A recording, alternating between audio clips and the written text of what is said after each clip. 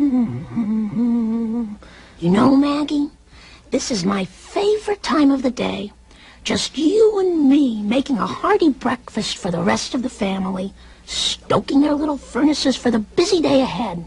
And you know what else I like about the wee hours of the morn? This is our time to be together. Mm.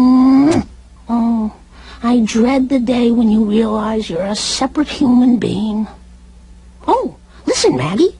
I think I hear those sleepy heads now.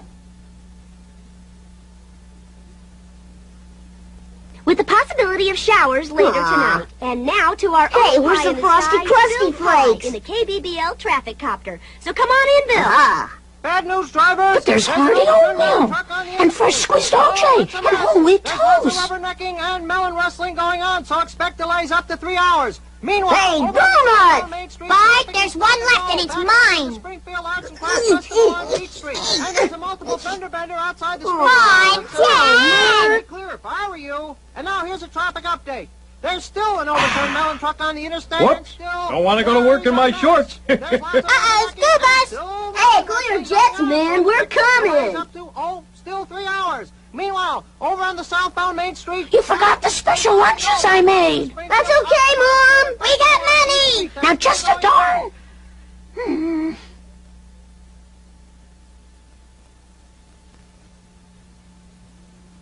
This is Bill Pie, your pie in the sky, saying goodbye.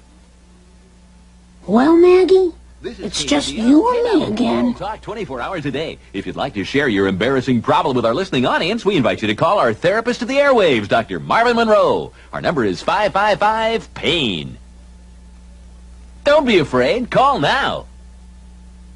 hello. I'd like to talk to Dr. Monroe. First name, age, problem. I'm Marge, 34, and my problem is my husband. He doesn't listen to me. He doesn't appreciate me. I don't know how much more of this I can... Hey, lady, save your whining for when you're on the air, okay?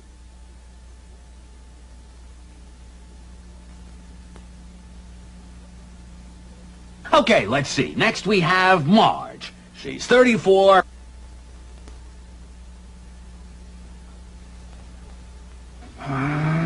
Your husband is a selfish pig. And you deserve him. If he doesn't start loving, you're leaving. Rubber baby buggy bumper babysitting service. Hello, this is Mr. Sampson. Did your wife just call a second ago? No, I said Sampson, not Simpson. Thank God. Those Simpsons, what a bunch of savages. Especially that big ape father.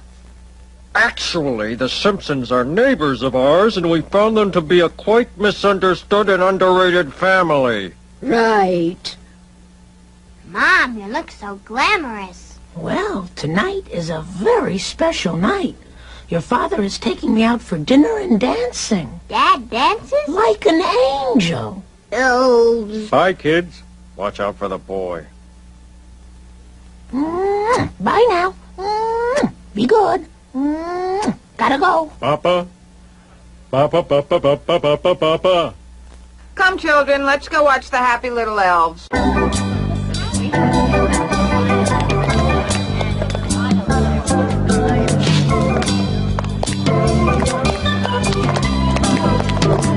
You know, Marge, this is just like when we were dating. Except for one thing. No chaperone.